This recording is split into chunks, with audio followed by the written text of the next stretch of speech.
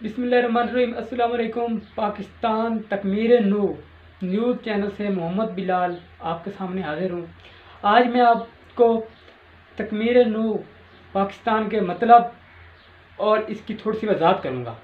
और इसके साथ इसमें मौजूद जो स्टूडेंट, जो नौजवान काम कर रहे हैं, उनके बारे में बताऊँगा। वो कहाँ से हैं, किन सोसाइटी से बिलोंग करते हैं और किस पर काम कर रहे हैं।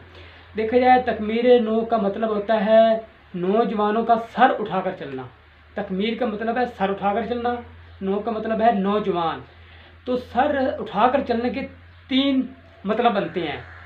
साथी, रास्ता और शौक। देखें, साथी इस तरह होता है, साथी दो तरह के हो सकते हैं। एक, यानी आपके साथ रहकर आपकी तारीफ़, आपको हौसला दे, आपको आगे बढ़ने के बारे में बताए।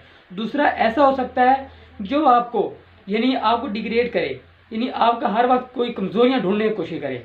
तो ये देखिए, दो तरह के साथी हैं। एक आपको हौसला दे रहा है, एक आपको डिग्रेड कर रहा है। तो आपने जो डिग्रेड कर रहा है, उसकी बातों को नोट करते हुए आगे बढ़ सकते हैं, क्योंकि जब भी कोई रास्ता डिग्रेड करता है, वो आप, आपकी कमज़ोरी बताता है। जब कोई आपको, आपकी कमज़ोरी पता चलता है, आप उस कमज़ोरी को दुरुस्त करते हो, आगे निकल सकते हो। इसी तरह, इसमें आता है दो रास्ते। एक अच्छा रास्ता होता है, एक मुश्किल रास्ता होता है। देखो, जब आसान रास्ते पर हम चलते हैं तो शार्टकट जिस तरह हम मारते हैं शार्टकट तो हम आगे निकल जाते हैं, मगर रास्ते में हम पिछता रहे होते हैं। दूसरा इसी तरह रास्ता है, मुश्किल रास्ता, जिसको हासिल करने के लिए बहुत ज़्यादा परेशानियाँ भी झेलनी पड़ती हैं मुश्किल भी होती हैं। तो मगर उस रास्ते में जिसमें मुश्किल का सामना करना पड़ता है हमें, बहुत ज़्यादा परेशानियों का सामना होता है उसमें ये होता है कि हम उसमें सर्दी गर्मी सब कुछ बर्दाश्त कर चुके होते हैं। तो लास्ट में जाकर हमें कोई मुश्किल नहीं होती हम कामयाब हो जाते हैं अच्छी जगह पर पहुँच जाते हैं। तीसरा इसमें शौक। शौक इसके लिए हम बहुत कुछ करते हैं। शौक करने के लिए हम बड़े से बड़ी रास्तों की चीज़ों को भूल जाते हैं। हम कहते हैं ये हासिल करनी है। उस हासिल करने के लिए हमें पीछे मैंने दो, दो चीज़ें बताई हैं।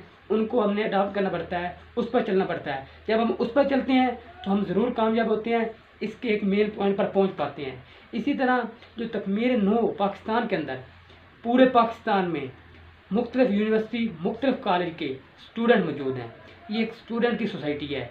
और इसमें आगे इस सोसाइटी के अंदर डिफरेंट सोसाइटीज़ बनाई गई हैं, जिसमें ब्लड डोनेशन की सोसाइटी है ग्राफिक टीम है कंटेंट राइटर है ऐसा मार्केटिंग टीम है डिबेट टीम है वुमेन अवेयरनेस की टीम है टीएनपी न्यूज़ टीम है तो इस तरह सब स्टूडेंट मौजूद हैं।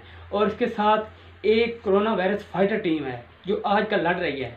तो इस, इसमें ये सोसाइटी के अंदर सारे स्टूडेंट मौजूद हैं।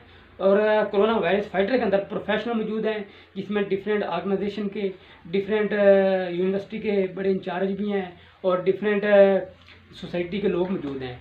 तो ये इसका मतलब था और ये जो उसके अंदर लोग मौजूद थे, ये वीडियो इस बारे में बनाई गई है, क्योंकि इंट्रो वीडियो है, आपको इस चीज़ के बारे में पता हो। नेक्स्ट वीडियो इंशाल्लाह, पाकिस्तान एक सोनी धरती के नाम से जल्द आपकी में पेश हो जाएगी।